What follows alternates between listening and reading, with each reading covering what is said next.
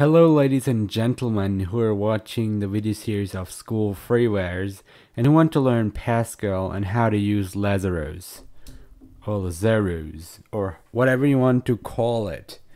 Okay, so the first thing that I wanted to tell you, not that I love the TV series Bones, which you can obviously see through my desktop wallpaper, but rather I wanted to tell you on how to install it on a Mac, which is not that easy.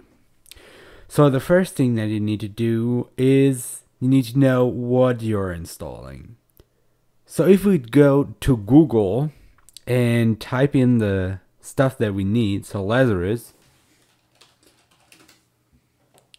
you'll see this.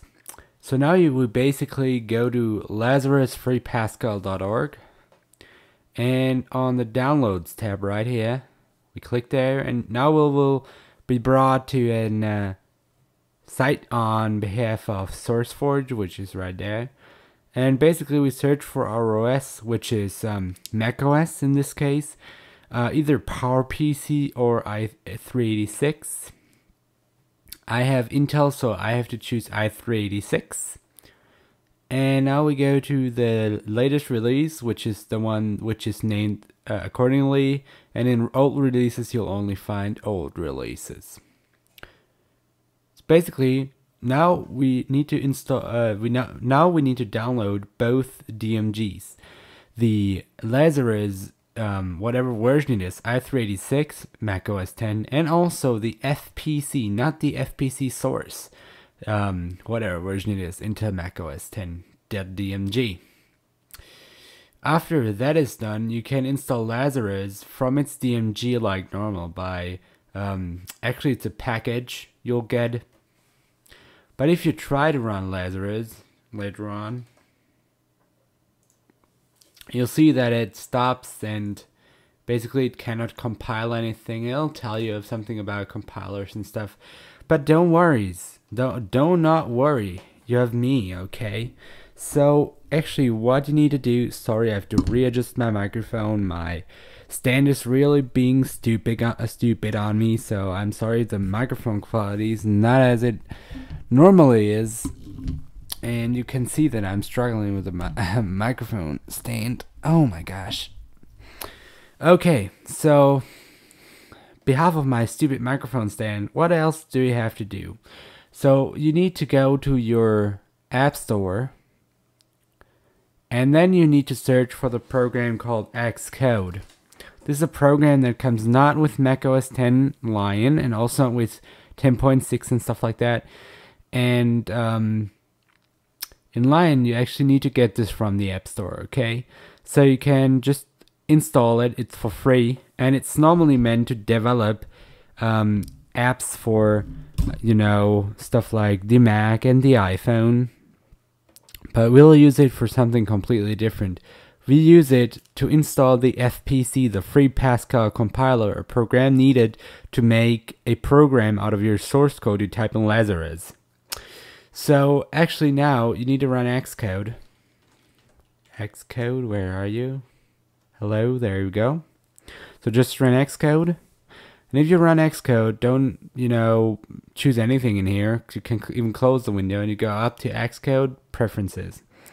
If you're in the Preferences, install the command line tools. You'll be asked for a password and I'll be glad to enter it. Just install the software and it can take a while because it's 180 megabytes. And um, We'll wait for that and then come back for the FPC part. In the meantime, I'll go ahead and mount the DMG. So see you in a minute. We are near completed and we are done. So that's the Xcode part actually of that. So we can close out of Xcode. And now well, this is the DMG uh, for the FPC. Just to prove that it won't work if you don't have that FPC. Um, let me just get at Lazarus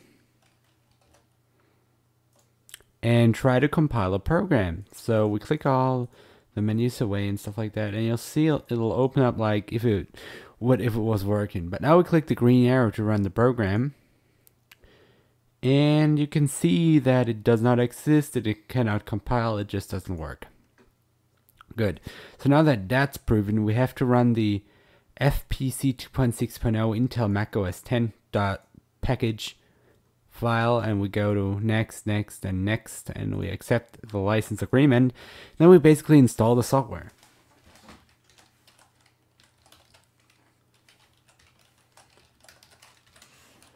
There we go. The software is installing. Files are written, and um,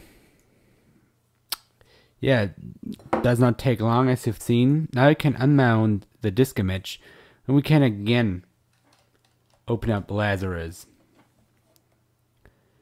You'll see that sometimes it will come up like this, but eventually it does work. So actually, I'm pretty stupid, and I can tell you that we need the FPS, uh, FPCSRC package to download. Um, yeah, so I'm pretty stupid, as I told you already. So we need to download that package, uh, or else it won't it, it won't work. So please, oh, it's downloading. So yeah, I was pretty stupid. I thought that the um, F uh, source you know image was the source code of the program which it wasn't. It's another component that is needed. And that was my phone going off but as you can see it's not a source code. It's not c or anything. But rather it's a software package so go ahead and just install that too And there we go. I mean, it's installing. It doesn't take long as the other one did. And now we can unmount the disk image. Now we try Lazarus again. There you go. No error messages, nothing. Now let's just edit the form and give it give it a name.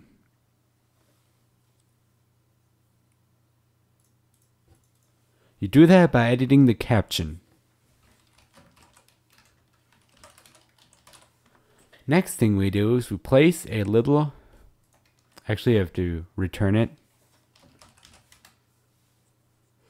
Next thing we do is add a little string to it by clicking on those uh, ABC thingies. And this is a label.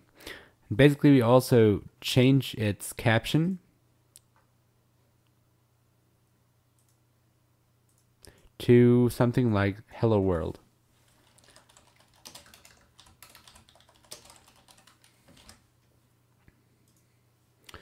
Our string is ready. We can place it anywhere on the form and also we can edit the form to a size that we want. There we are. Now I can click the green arrow on the top of uh, our nifty little Lazarus. Says it has compiled successfully. It'll start up and there's our little nifty form which we can move around. We can close also. And there we are. And basically that's it for the setup tutorial of Lazarus. So uh, thanks for watching and I hope to see you soon. Have fun with the tutorials of School Freeware and goodbye.